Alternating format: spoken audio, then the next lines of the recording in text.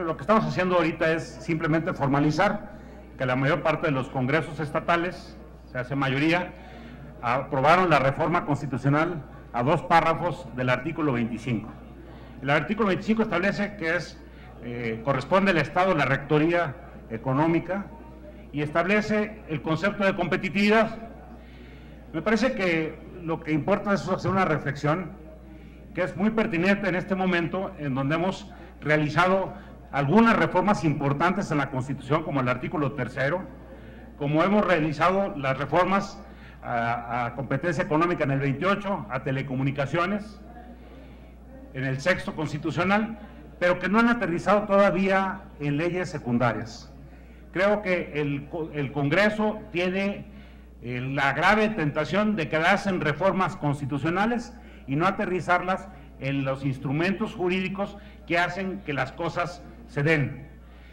En el país se habla con muchísimo entusiasmo de que se ha realizado una reforma educativa. La verdad de las cosas es que no hemos hecho una reforma educativa.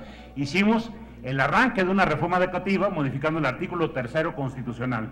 Y el gran reto está en la ley secundaria se habla de que hemos hecho una reforma en materia de telecomunicaciones, en materia de competencia económica. En realidad lo que hemos es modificado la Constitución. Ahorita formalizamos el acto de promulgación de la reforma constitucional del 25, pero no porque modifiquemos el artículo 25 y definamos competitividad, como lo define ahora la Constitución, el conjunto de condiciones que permite que exista crecimiento económico y del empleo, no porque hagamos este cambio en la Constitución, la realidad en el país va a cambiar. La realidad en el país va a cambiar si hacemos cambios, por ejemplo, en materia de la industria petrolera. Cambios de fondo que permitan la inversión. Eso sería hacerle caso al precepto que acabamos de modificar en la Constitución.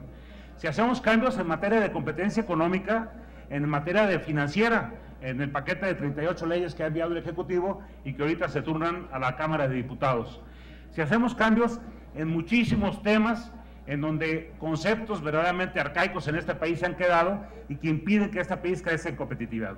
Finalmente, hacer una precisión. Ciertamente otros países que tienen mucha más población ahora son economías más grandes que la mexicana.